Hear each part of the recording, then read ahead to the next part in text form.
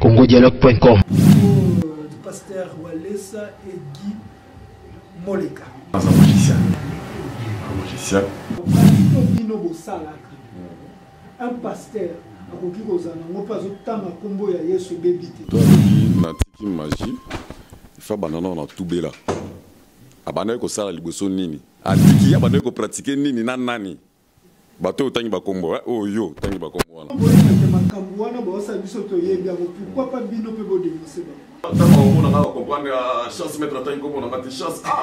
bangomaji batikaka yango to batikaka yango te nga naza na eglise te ye aza na eglise me tosala kaka eloko moko mwana ya nani olobi soki ye moto atindaki ngai naza na probleme na ye te ye nde moto bazomenase na bakobano aya na bango so bakomi ata 24 aya na bango yo na vie na vie edi na monde yango na kozala maître exemple nalakisaki ndenge okolongola motu mosusu oh. asimbi yo babambi yo pochette okwei me ngai napesaki ye tactique nini okosala mpo okweisa moto ngai mwana ye nde mama mais ofait ngai nde naza mama ye nde ya mwana Quel était le but d'être en contact avec les gens qui sont morts? Natika eloko aza te toyebani bisika tokutanaka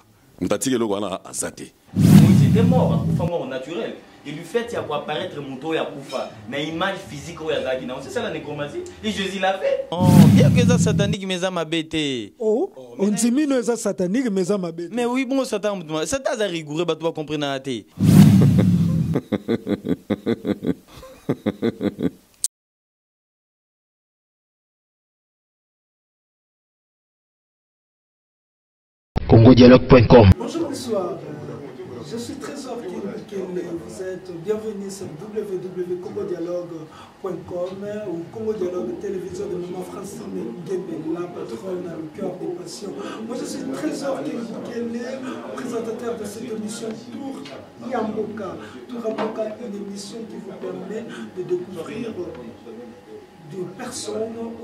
et des euh, actualités à la République démocratique du Congo. Euh, comme vous le savez bien, je me déplace s'il y a l'actualité. Je me déplace s'il y a quelque chose qu'on doit vous apprendre.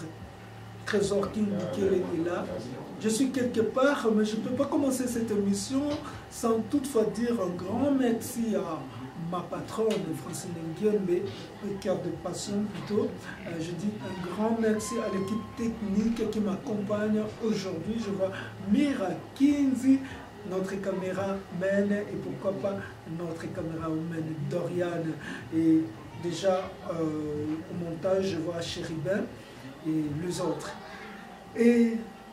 comme nous sommes là, vous avez écouté, vous avez vu, vous avez regardé des émissions à propos euh, de pasteur Walesa et Guy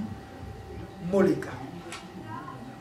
émission à la spiritualité, l'équipe trop, site internet pasteur Walesa, Guy Moleka, affaire magie. mais nde nayebisa bino tokoki kaka kozwa kaka bato baza makambo yango mpo abaexplike biso bamakambo koto mpe ah, ojebaka alobi bato bakokufa koto mpe elingo abengisi deja mwana na ye le jésus mpo naya kokita na kini mpo ndenge eza bongo gimoleka alobi le jésus nde moto atindelaki bankoba wana le jésus azala kinsasa tokozwa le jésus mais awa nazali na kati ya ndako ya grand maître moi je, euh, je préfère bien l'appeler grand maître maître joe ye nde aosilisa makambo wana nyonso oyo tu bomoni na internet ye nde aosilisa yango je dis déjà mon cameraman mira kindi afongola camera wana azokota euh, naze pas grand maître vous pouvez voir même la maison congodialogue.com bonjour maître très bien très bien par la grâce très bien mais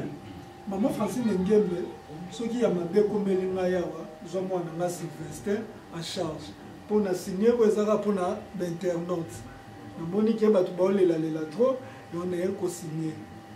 maître John se présenter na osala oui euh, merci mpona motuna na yo ngai nkombo na ngai maître jo bamosusu babengaka ngai jonathan euh, ngai aza magicien magicien mais na kati ya magie na ngai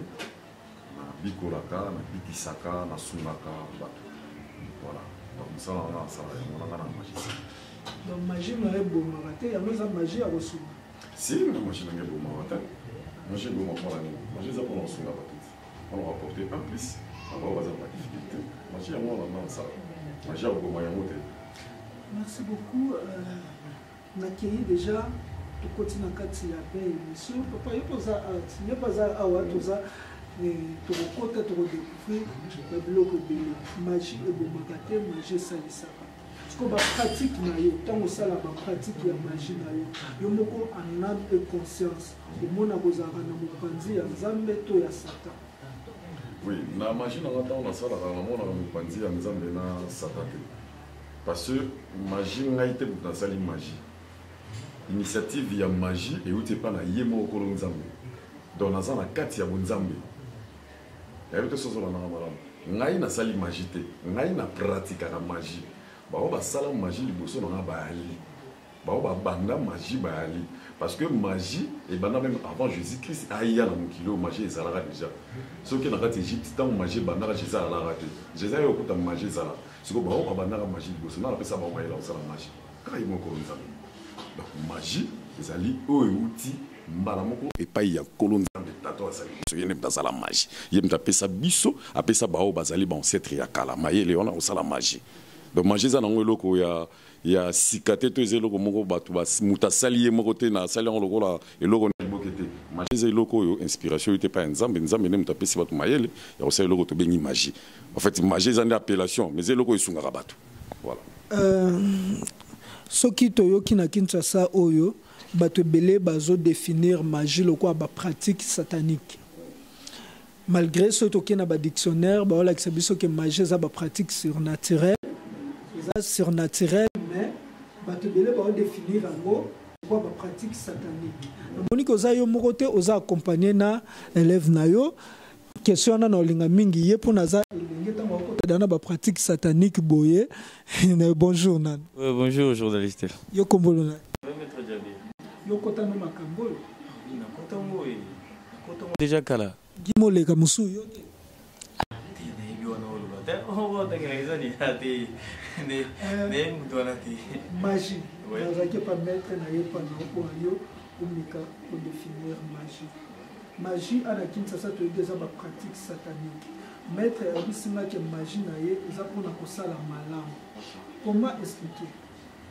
Magie eza eloko moko eza satanique te. Eza eloko moko eza surnaturel ndenge outi oloba. On peut se poser la question. Jésus-Christ selon verset ya Bible akendaki na baapôtre na ye likolo ya ngomba azipi bango dra ayebisi bango alobi motu moko afungola miso te amati likolo ya ngomba akei kosambela transfiguration esalami et l'un des apôtres amoni elina moïse baapparaître sous forme humaine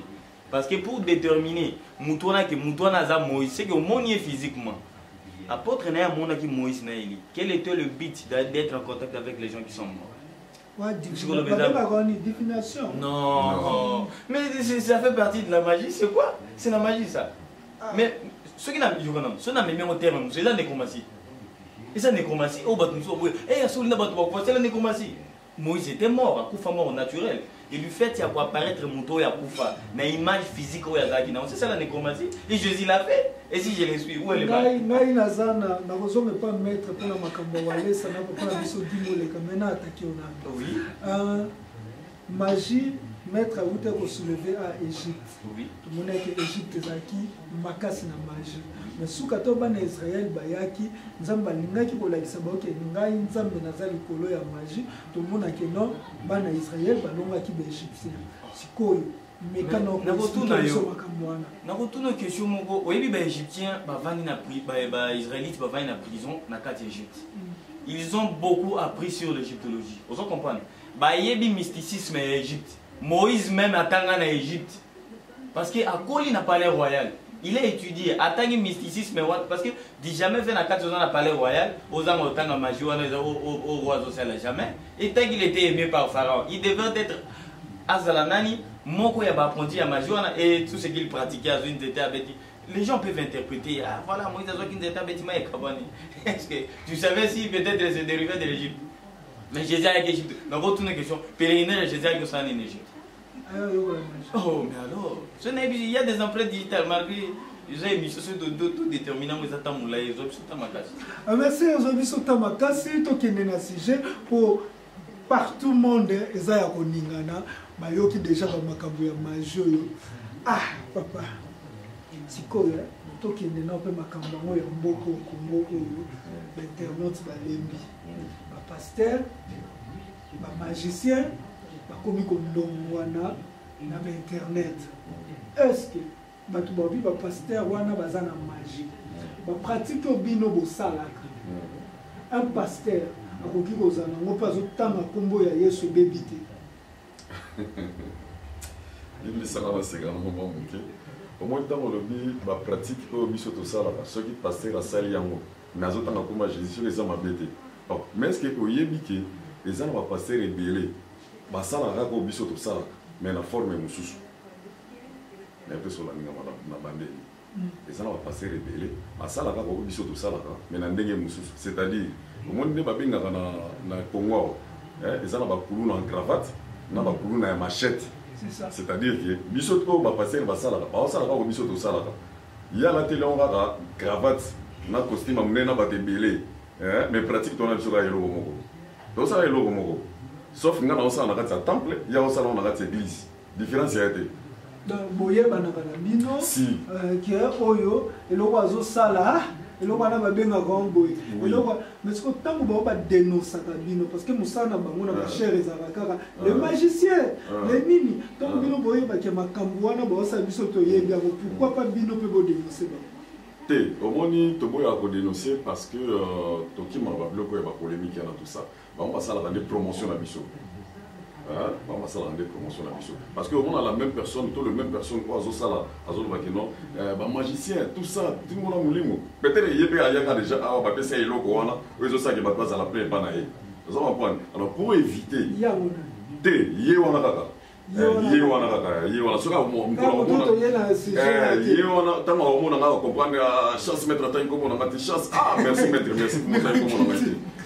Eh, merci maître otangi nkombo na nga te ye wana ayebi ke non eloko azosala wana nga munapesa ye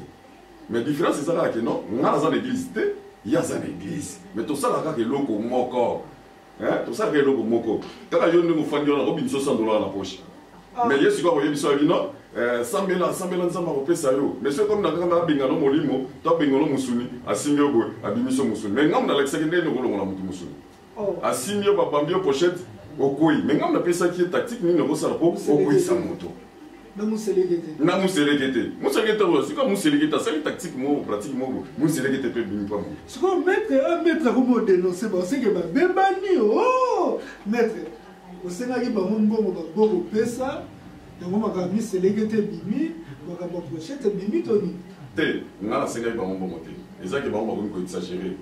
bazolobela trop négativement sur la magie bazofinga trop négativement sur la magie pourtant yango nde eza eloko ezosala bango basi ebele na kati ya mboka oyo yango nde ezosala bango bana zoso verité yango nde ezosala bango bango tv oyo bango balekaka ntango bazosakola ntango bazopesa babiloko nyonso bapesaka wana me moto aza na se nde moto asalaka eza histoire ya mama ya soso na mama ya soso na mwana ya soso mwana aza na se mama nde ya likolo ozo comprendre donc mwana azo profiter na chaleur ya mama ye ti azokweyisa bato ti azosala bamiracle nyonso akosala wana eh, sikoyo zwa sikoyo na sens contraire ngai mwana ye nde mama mais ofait ngai nde naza mama ye nde ya mwana congodialogue.com ndenge maître azoloba donc olia yo kende na yo epa moto bapesaka biloko ya kaka mbaa moko epa moto oyo apesaka biloko mpo olie badistraction wana ah maître ngai deja nakomi otoka eh, mpo makambo ya boye mama ya biso eh, ayebisa ngai soki okei esika omoni baoloba mabe ya basali na nzambe bima me awa nakobima te mpo naye osala mosala na ngai maître bato wana bazokotisa bato bajeune bato wana baosambelisa bato mpe tozomona bato kaka ya bino ya magie bazoke kosala batémoignage na baeglize ya bato wana pour dire que grâce ya moto nde natiki magie Mais je vais citer le nom ya ndeko oyo babengi gimoleka oyo tomonaki ye kosala témoignage epai ya pasteur walesa ke atiki magie pendant ke yo oloba ke bato wana baza bato ya magie moto mosusu ayo kosala mpe témoignage abi natiki magie na eglise ya moto wana olingi koexplike peuple oyo ezolanda yo nini euh, omoni moto alobi natiki magie ifa banda nao na tubela abandaki kosala liboso nini mpo aloba atiki atiki nini nga nazalaki témoin ntango ye atikaki tv moto ezalaki témoin to ye nde moto azalaki témoin nga naza na bapreuve ke atiki wana motuna ya ngai liboso motuna ya mibale atiki ya bandaki kopratike nini na nani bato oyo otangi bakombo eh, oyo otangi bakombo wana abandaki kopratike nini na nani soki ye na na ye ye wana ya na ye wana nde bayokani yo okosaki yo otiki mofete otiki te ngai nayebi te papa moto atiki eloko aya te confirme eh, mika kinzo fongola nano pardon hein. eh, yo ozo confirme ke moto atiki eloko aza te mpo batikaka yango mpe te yo moto atiki eloko aza te toyebani bisika tokutanaka moto atiki eloko wana aza te bato wana otangi bakombo ah, yo moto otangi bakombo ngai te yo otangi bakombo natangi bakombo parce que eh. congo dialogue.com ah, tuna yo est ce que moto oyo aza demobilise akobunga obeta monduki oyebaka ke monduki babetaka yango ayebi obeta monduki te isifi simplement abi nini alobi nalongoli teni se teni aneke oboya nzoto na ye soki oyebi alata yango teni eboya asima monduki abeta teni eboya boso epe alata yango na kati ya ndako ah donc euh, maître batikaka magie ndenge yo okota magie batikaka magie te to motu lelo yo okoki odeside obi otiki magie mpo tiki na yo to moto adeside atiki magie me moya abima na magie eza te magie batikaka yango to batikaka yango te yo okotika kosunga bato nga natuni motuna yo okotika kosunga bato ndenge bible eloba na tosala malamu na mokili yo kotika kosala malamu na mokili eza kosala malamu te mpo aye alobaki aza attaché ya jacqueline bongo kosala machine nde naosala mabe ngai naboma nani ngai nabomaka motu te eza basacrifice mosusu bato basenga na ah, kopa magie omoni eloko nyonso na mokili eloko nyonso na mokili eh? posala yango oresir na yango esengaka sacrifice mais sikoyo à la seule différence ezalaka nini bato bakanisaka ntango bato moto aolobaki non Euh, mpo nasala eloko oyo nasalaki sacrifice ebele sacrifice engi oloba sacrifice humaine te non non non non eloko nyonso otoki nango na mokili oresure nango page wana parti ya kotoka wana yango tobengaka sacrifice nga soki oyepa na ngai awawa na problème nyonso okoki kosala oyo okoki kozala nango besoin basunga yo na yango eza na sacrifice okosala mais eza sacrifice humaine te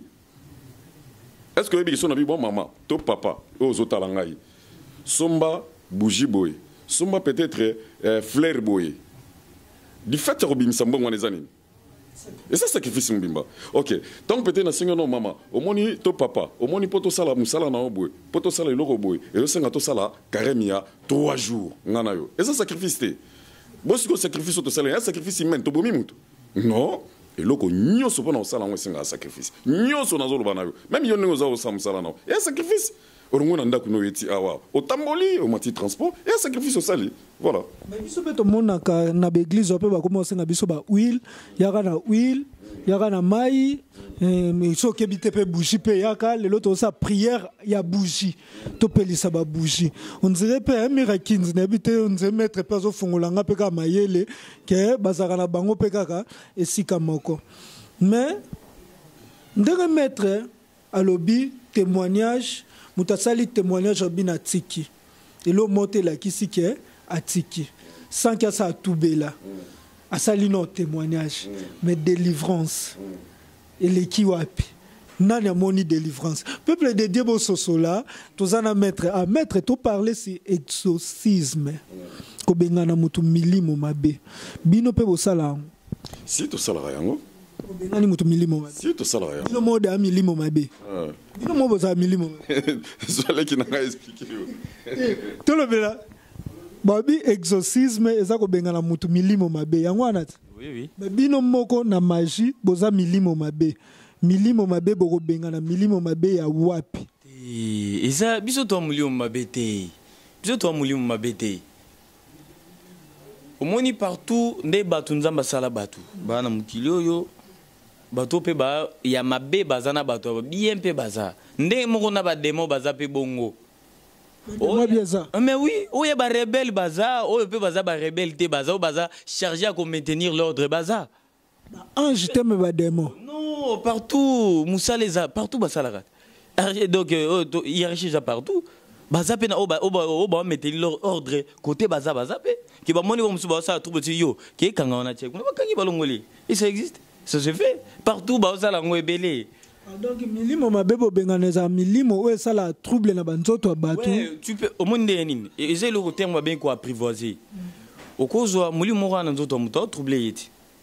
okoki kozwa ye oaprivoise ye olongoli ye na malembe donc obendi eza neti ocorromple ye yaka nanu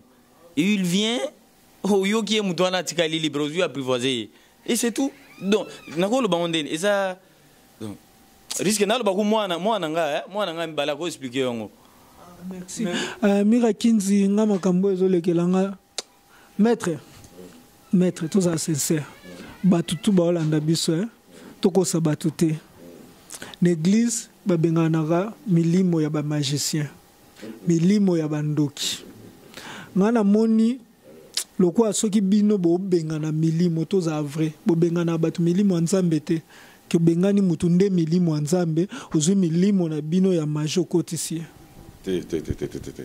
te soki tolongolaka molimo ya nzambe tozwi eglize ebenganaka milimo ya magie soki milimo ya bamagicien milimo ya kindoki tobengani yango siko bino ntango bozobengana milimo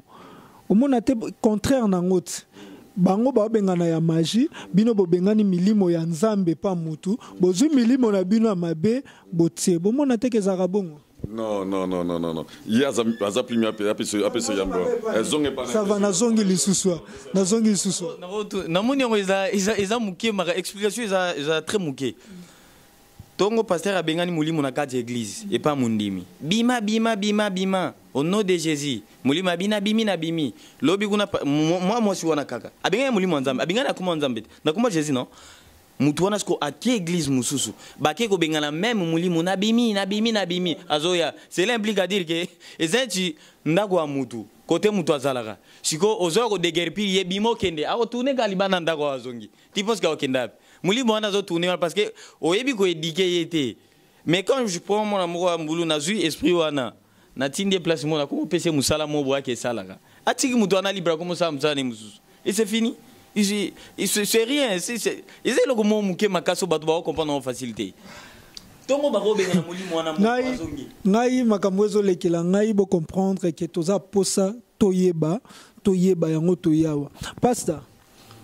ndeko na biso Guy Moleka milimo e déranger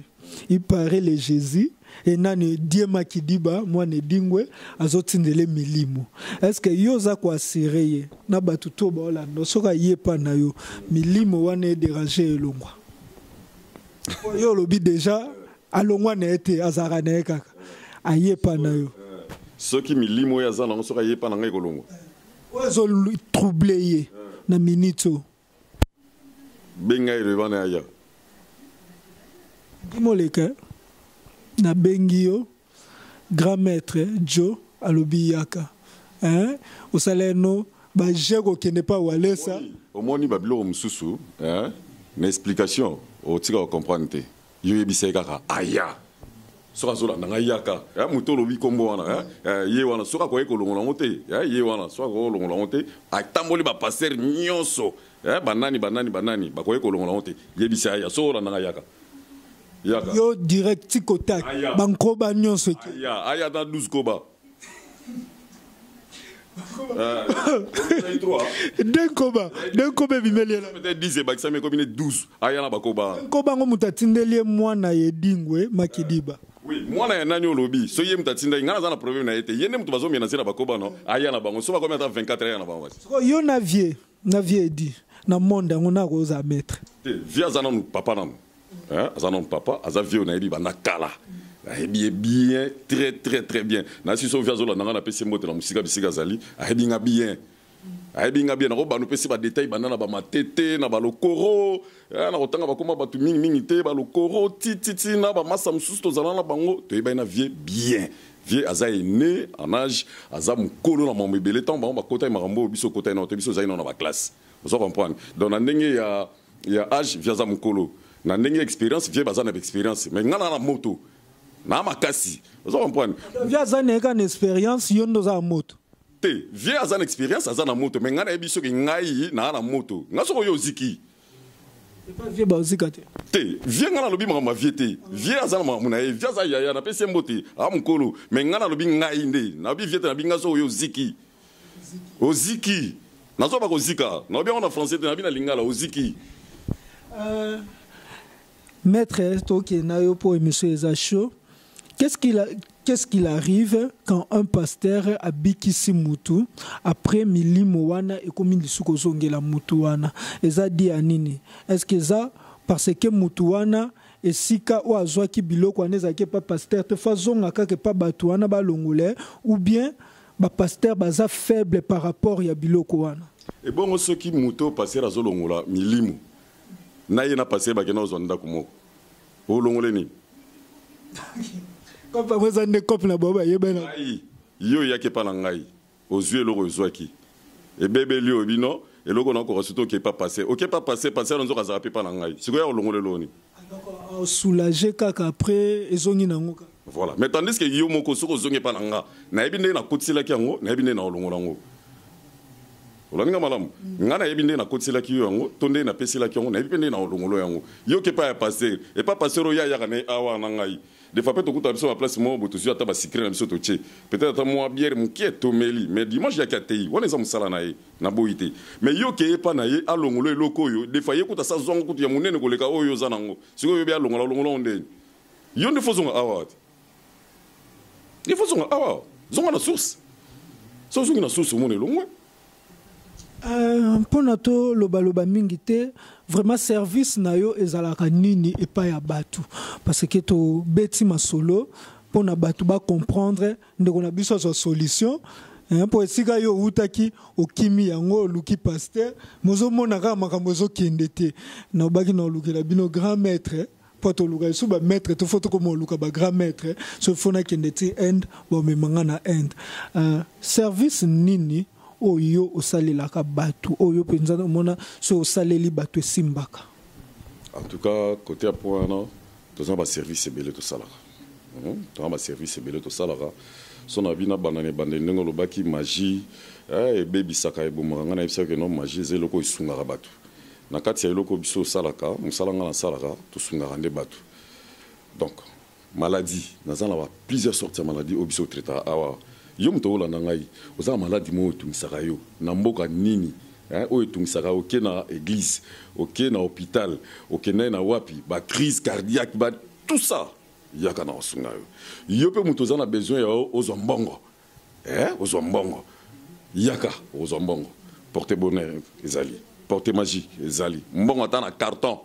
otonga immeuble lokola ye ezali nakoma mpe lokola yo boye ndako propre nabi lokola ye ye azwa libele okoma lokola ye Ozo comprendre yango po vraiment to citer ba kombo batu te bino bo comprendre ba yango donc soko lingi oyeba yango maître Joe pesa grand maître Joe au pesa numéro oyebisa bino yango nani eh OK euh, voilà un peu hein, porter bonheur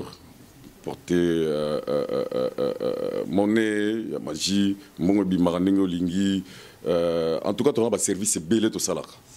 succès Euh, ba joueur bino tobolanda ngai ozala célèbre na mokili oyo célèbre na congo parce que awa ah, toyambaka en tout cas tendance ya bato nyonso bokomisa célèbre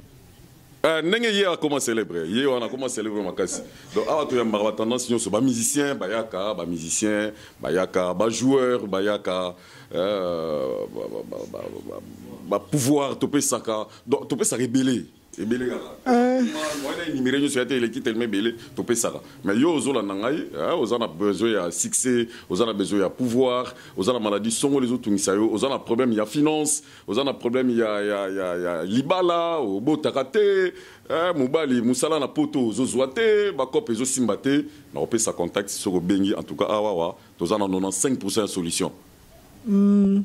ngai nakolinga te natinda bato na mabe yango nalingi nayeba bayebisa biso wi sata soki aopesa yo azwi kibota asimbi pembeni bakopesa na bino wana bopesaka moto akozwa na ye lelo angindi momo na lobi sacrifice pesa mama pesa papa pesa yaya pesa leki neti nga mwana nga sylvester bukelo nalingaka mingi opesa nga sylvester hein? yo kotoa noni ngo oloba ni mpo yo deja omona opesa pesa omona ete apesa pesa alemba eh? journaliste depuis ngai nakota mambo oyebi moto asala accident ya famille na ngai te moto asala kuta accident tuta libaku belinzaka elongo entourage no mpe baza te baza te o baza te ngai avandaka plein eza te bakima ngai navandaka bato plein bazalaka wana moko kuta beta libaku linzaka elongo ya te sacrifice ezalaka te eza te problème bato bacompsacrifice ya makila yokanano yokana explike yo demo aza mabe te demo problème na ye aza constitution ozo comprendre aza na rigueur mobeko na ye atie oyebi biso bato toza ndenge nini moto oya na ndako angabi na ye nazwa kisi ya mbongo ntango na ozwaka mbongo wana mbamo nake pa paster baprie nabwaki kisi natikali na mbo na mbongo yebisanga sikoyo demo akolinga bongo pasteur yango deja ayaka na ye oh, da mosusu ayaka na ye ekomi kuna sikoyo o te pesa o balobaki kuna fale olia mama na yo nde omoni te esimi non motu wana ayaki na mauvaise intention azwi mbongo alingi akima yo oyebisanga sikoyo ata nzambe sikoyo apesi yo mbongo nayobi te nde nazwi mbongo nzambe oyo nakenda kuna nazwa demon oyo akabola ngai na nzambe ngai atika na mbongo nzambe andimo sikoyo olobaki demon aza mabe na place wana eza bato nde bazala mabe ntango oyokani na yo toyokani na yo a1 a1 sikoyo yo ke kuna aloki obaluka okoma ab az sikoyo affaire maboma moto moko ayaki epa na bino akomi liboma ezalaka vrai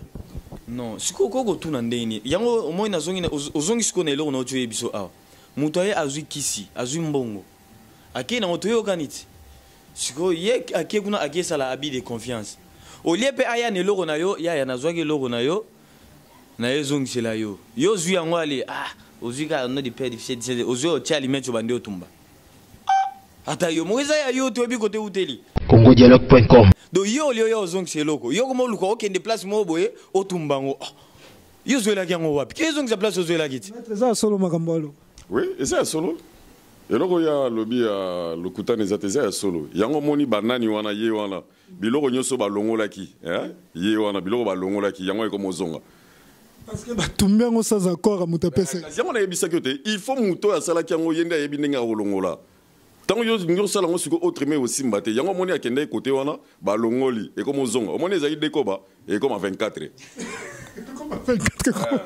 ekoma 24 ekoma eh, 24 soki mpe balongoli yango noki te ekoma ata 36 donc euh,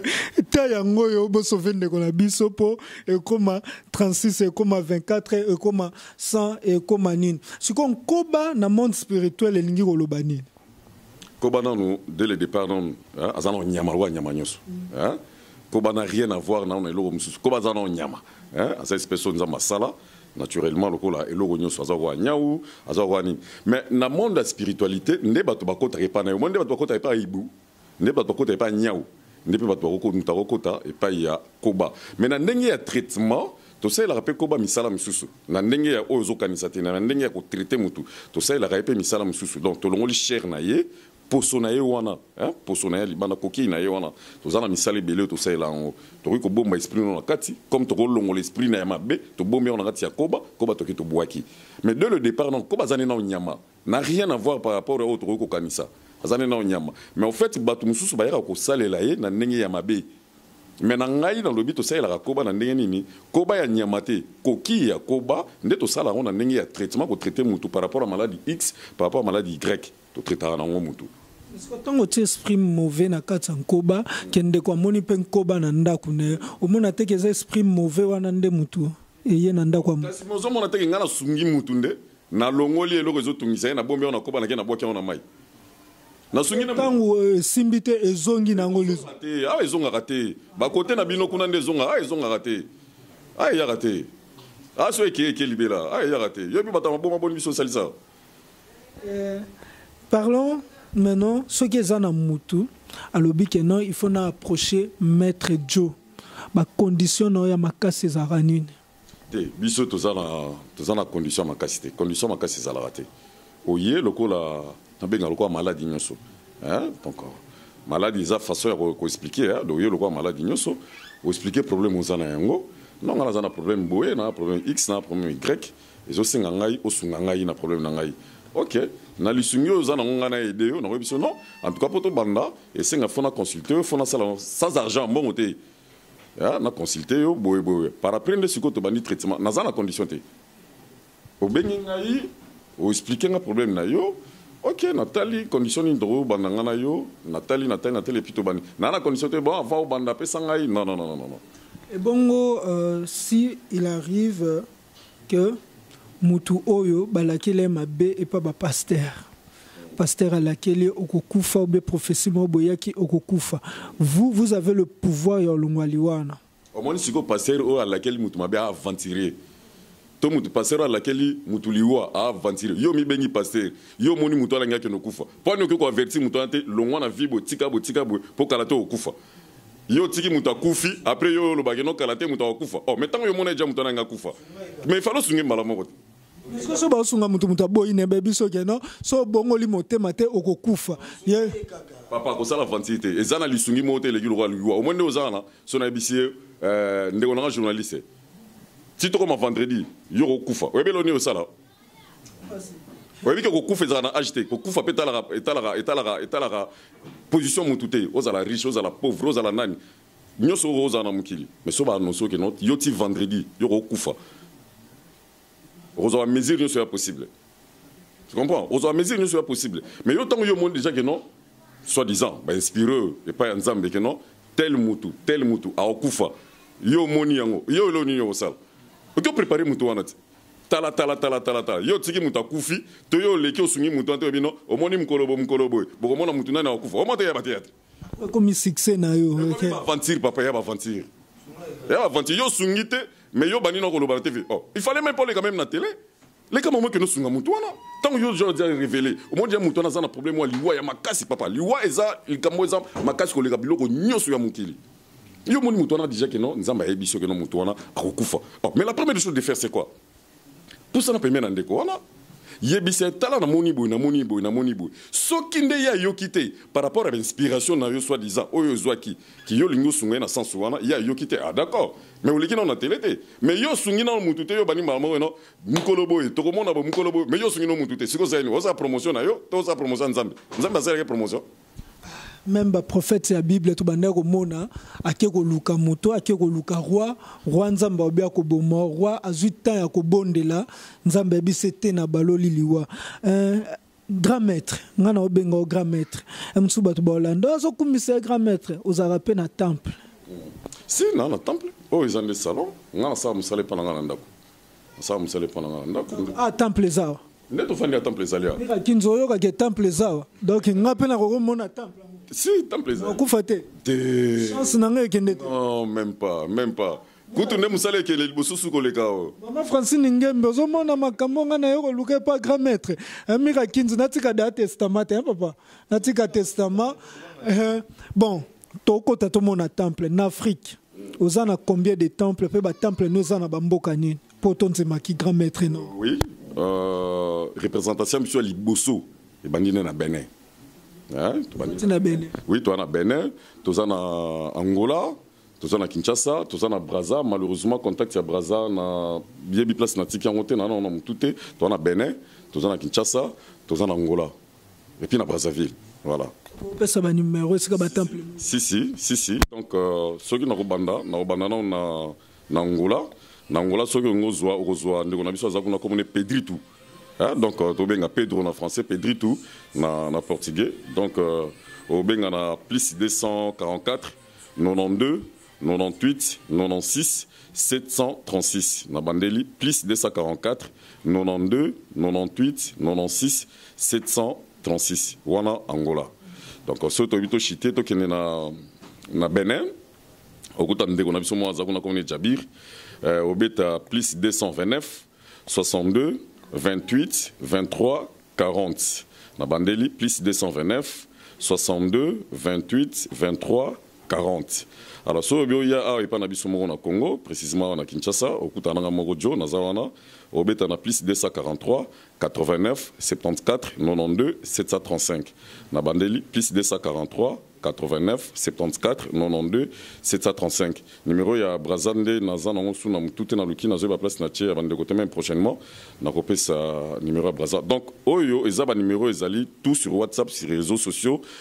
sur appel tout ezo leka sikoyo ba ba temple wana tout grand maître na ngona ba temple na nyoso grand maître na bango représentant na biso ya liboso azali en Égypte ah. euh. Kama kama fa tala makambo ngana oyo aluka azaka wapi aza na Égypte après yo te après nga te après Égypte kiti Benin Benin ndio kiti awa euh. après okiti braza angola ainsi de suite voilà sikoyo memanga mpe na egypte namonaka sikoyo aza délégué à partir ya egypte congodialogue.com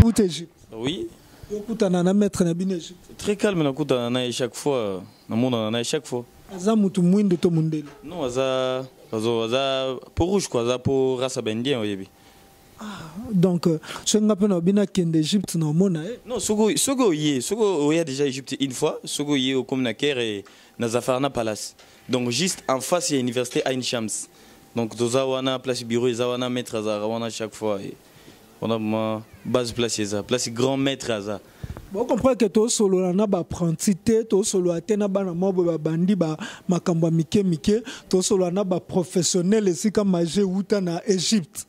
Donc les professionnels de la magie. Hein? Maître nayebi te soki totomona temple mpo na bato mosusu balobaka tokokosa. Hein? congodialogue.com Donc euh, ndenge bomona tokota ti na kati mpo ato comprendre mama francine ngembe shubercas de charlotte alain kinkela makambo nde bandi awa bandi awa a tokota na temple donc veut dire temple yango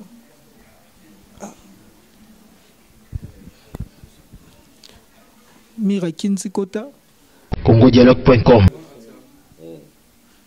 donc euh, ndenge bomona eza babiloko tomona na baeglize yango toye omona a na temple naza sire tokozala mpe na émission moko na maître biso basine oyo réellement eza nini mais mpo na lelo tolekaleka kaka likolo likolo maître oyo tomoni pyramide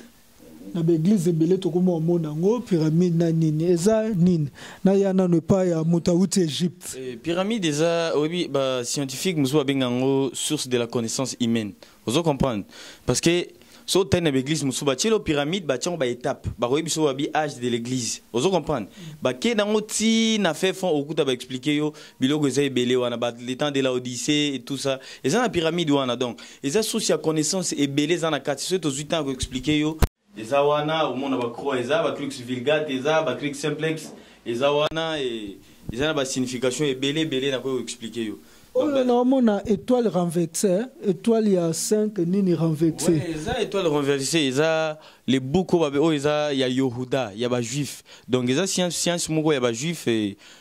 soki nakozwa ntango ko expliquer yo bato mosusu babenga yango book satanique nakozanga koyeba ozo comprendre oyo eza satanique te oh, bien que eza satanique mais eza mabe te oh, oh ondimi no eza satanique mais eza mabe mais oui bongo satan motu satan aza rigoureux bato bacomprenaka te oh. où est le mal nango esaleli ebomi nani non ça sert à nos incantations peut-être eza na esprit moko ah, pentacle na ye wana mpo obenga ye fo azala wana obengi abimi wana c'est mieux basigne nyonso ebimisaka milimo oui eza na basigne nango et donc eza vraiment na basignification nango approfondie euh, oyo eza maboko tomonaka mpe griffe moko boye pomme de main bato balataka ezalaka na de maboko oyo eza di ya nini maboko ezopermettre biso yango moso omoni signe yango ekozala na signe ya maboko eza signe ya salutation ntango tokoti eza comme baprete na biso osala mpo efongwelo porte wawa ah. donc bato balata ba pomme de mer eza ba prince oyo balata mpe mpo efongolela ba porte na monde spirituel peut-être mpo na bango te mais mpo na biso eza bongo bon ye moko siko nde akoyeba soki eza nini yango eh, vraiment tokokotakota mingi te tozongi kotona maître jo tomoni temple ya maître jo maître jo naomona temple a ah, namoni babougie Awa na temple na yo ndenge eza boye ntango yo moko ofandaka otala temple na yo obike non soki lelo oyo ozwi temple oyoki opesa epa paster obongola motema paster nini oyoki opesa ye temple oh. jesus revient bientôt eh? soki nga nakoki kopesa eh, temple nanga bandela question na nani malamu soki temple oyo ndenge otalaka yango boye mpo na omona olinga yango mingi obile yo na bongoli motema ifo naki ozongisa epa paster mo paster ni ya nguya oyo omonake no akoki kozwa temple oyo mpe asilisi pouvoir nango ah, papa nanga journaliste soki nabongola motema motema oyo nabongola yango ndeni jésus revient bientôt oh. Ah. mais motema nanga ezala deja obongwana te donc yo oza nano na mabe te ya kobongwana nini nazalaka awa ngai naza deja mbongwana ya sika naza ya kobongwana sikoyo nabongwana su ndenge nini naza bino mpe bopesa bato bateme te toza na initiation donc yo initiaka mpe bato soki oza na besoin ya initiation oye na initiation toinitie yo toza na initiation Baptême biso sala ba pratique ya baptême te mais initiation ezali toza na forme na biso peut-être tokobenga yo neti baptême eza pas tout à fait mais toza na ba initiation même yo moto olanda soza na besoin initiation yaka benga nga na contact ozwi ye pa komi grand maître si asali pe temple na ye mais nga nabotamaki nayebaki yango te j'ai été initié ba initié nga nde nayebi comprenez ba initié nga nde nayebi pratique nga na osala lelo gimo nazali ya kobongwana te nasi na bongo wana deja na bongo wana zuko mbele fo nasi na bongo wana deja couleur rouge rouge na spiritualité elingaka koloba nini basacrifice ya makilo te Ah non, ça n'a rien à voir. Ça n'a rien à voir. Question na sina répondant déjà na émission mo, ça n'a rien à voir. Couleur ezaka couleur. Omoni euh epai basango hein, tango basalaka ba culte na bango omona soki euh, mokolo wana baa na messe moko ya kolongola milimo Omona bango nionso balati ba soutane ya noir ezalaka signe kaka ya combat hein tolingi tobunda tolonga milimo moko boye omwa mokolo mosusu balati soutane ya pembe elingi oloba tout eza pe ozo comprendre alors biso pe na monde ya kolakisa kaka que non eza magie ça n'a rien à voir na couleur comme pe tokolongola nionso ya rouge oyo totie na biso pembe ça n'a rien à voir eyo changer nango eloko te bangisa biso pamba oke tenda rouge oyo kaka eza kaka elembo nakolongola yango nionso tokolongola tout oyo tochanger pe ekomi tout en blanc tapis ya pembe rideau ya pembe tout eza nango na eloko moko te eza signe ya makila te non rien Mais ndeko na biso wana abiye azalaki initiateur pe formateur yozomona te ozosenga mutu ayela yo milimo na ye olongola ye mutu aleki yo na pouvoir na yo na ye nani aza na pouvoir mpo nayebi ke yo oza moto de olobaki oza moto mutu wana na biso Guy oyo azolela bankoba na ndako ah. yo abi azalaki initiateur mpe formateur ah. mpo yo olobi yo mpe oinitiaka bato hmm. yango nangi nayeba na yo hmm. na ye hmm. mpo aya longo na etape ya initiateur formateur abi azalaki garde corps ya jacqueline yo na ye na aleki moninga ah, papa so nga na ye na aleki moninga mais ye moko azokoka na komilongola biloko eza na nzoto na ye te seka mileki te seka nga aleki te donc ah, donc parler la kisi ke yo leki mais ngana leki muto tanyo ngana leki ah, ye neni siko ba kobe bimeli ako sala ya ko ko ye ba neni ako longola ba ko ba rabi ye nani wala tanyo ngana leki ya wana emission ki non soki a chetembe ba ko ba ne ko ma 36 ere ya ngoyo aki mambangu aye ana kobikisa ye soki oza na tembe yaka na kobikisa yo sikoyo yo na le jésus mpo ale jésus aza da e nani die makidiba mwana edingo aza da na kin mm. ye mpe toyebi ke azalaka sho na makambo wana mm. yo na makidiba mpo mm. makidiba moto aotinda bankoba oyo olingi olongola yo na ye na aza moto te nakoki kopesa expérience ya moto ngai na si na viva na ye ye ozotanga kombo na courtois ya ye te eh, ni vi ni koni peut-être kombo na yoki yango ndenge otangi donc nakoki kopesa expérience na ye te ya moto oyo na, na vivre nano na ye te non kombo nayoki euh, nayebi ye te nayebi expérience na ye te donc euh, moyen na napesa commentaire sur ye eza te mais l'autre oyo otangi kombo wana naza na basanga expérience nde nayebi yango moi na défendre yango mais ye en tout cas na expérience na ye ata moko te moyen na commenter sur ye eza te D'accord, euh, maître, euh, s'il faut promettre quelque chose na batu po amna yebi que mission ndenge eza likolo boye batu bakozela numero mosusu koloba eloko moko na batu tu oyo bazolanda biso eloko nini okolobela okolobela bango oui ngai nakoloba kaka par rapport ya mosala na ngai naza na ebele ya koloba te soki nakoloba eza kaka ke euh, moto nyonso monde mobimba na coin nyonso ozali oyo ozolanda émission oyo oyo vraiment problème nyonso oyo omoni ezo deranger yo ko hesiter te benga na ba contacts oyo topesi yo moto oza ndeko na nga congolais benga na plus 243 89 74 92 735 yo moto oza na ngola benga numero ya ngola yo moto oza mpe na kote ya benin benga na numero ya benin nalobi tendance ya problème nyonso tendance ya problème nyonso problème ya libala problème ya pouvoir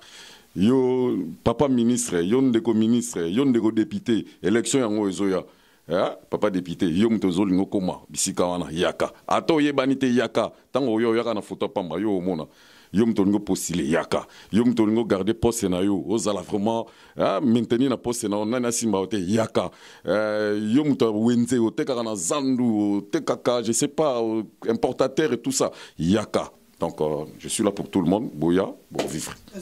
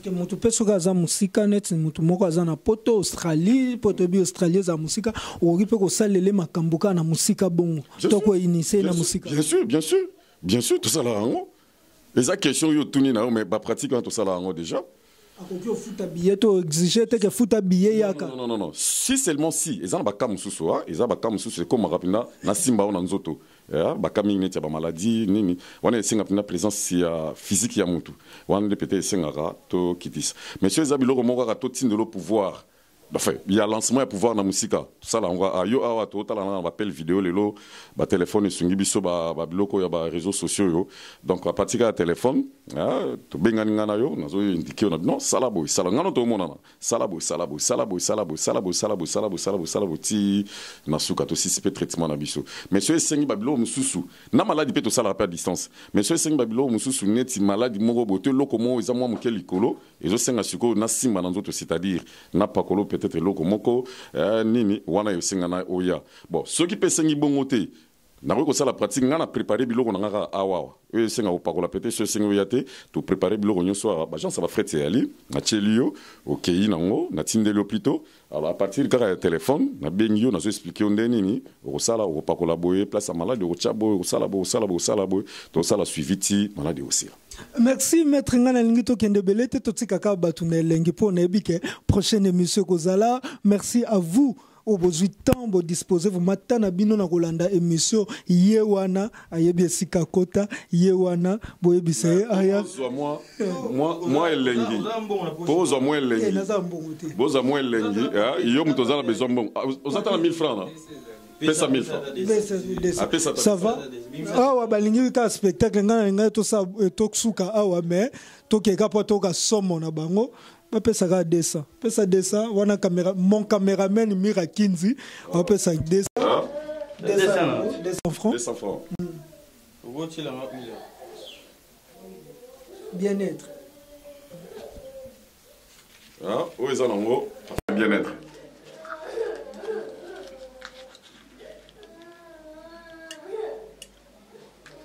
Je n'étais qui tu sharp non Na qui tu sharp, na se. Ouais. Qui tu sharp.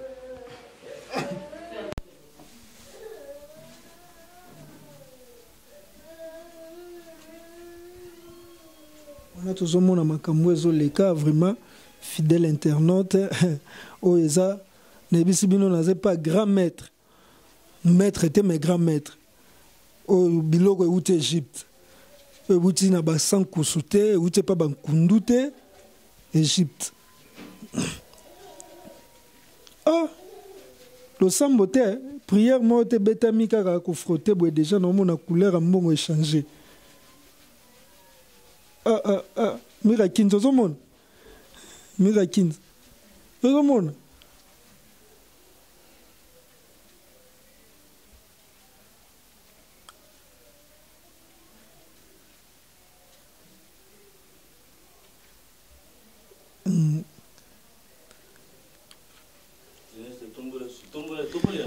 natomboli natya na se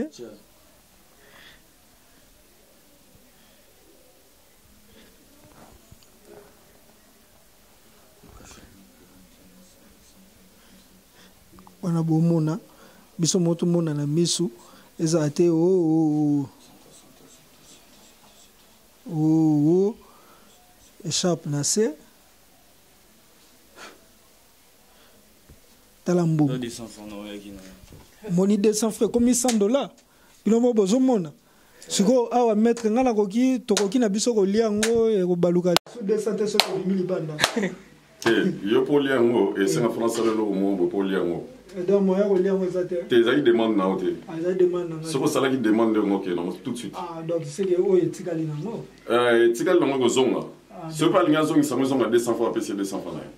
Ah, d'accord c'est que ezonga nango lokola tosalaki demande te prochainement eh, soki osali demande eh. osengi mpa entité osali demande na yo eh, osali demande na yo oui osali demande oyebi nga na na mposa ya mosolo to misolo